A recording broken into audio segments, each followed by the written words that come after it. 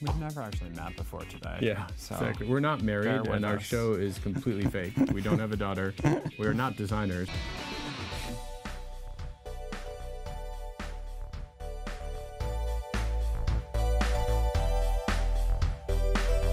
What did you write?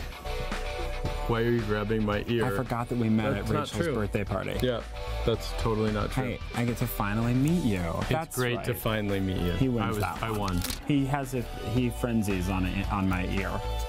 It's getting really weird.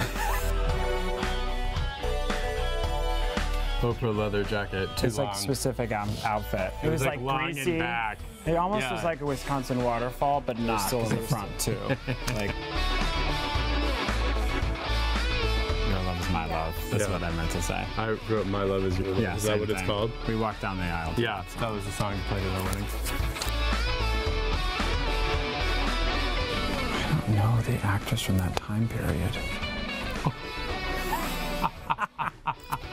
You're truly a piece of garbage. The Obamas are Hillary.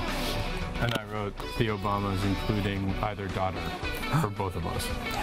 Yeah, Yeah. yeah. I feel like Still. we would really get along. I think we really would. Michelle and I would be like,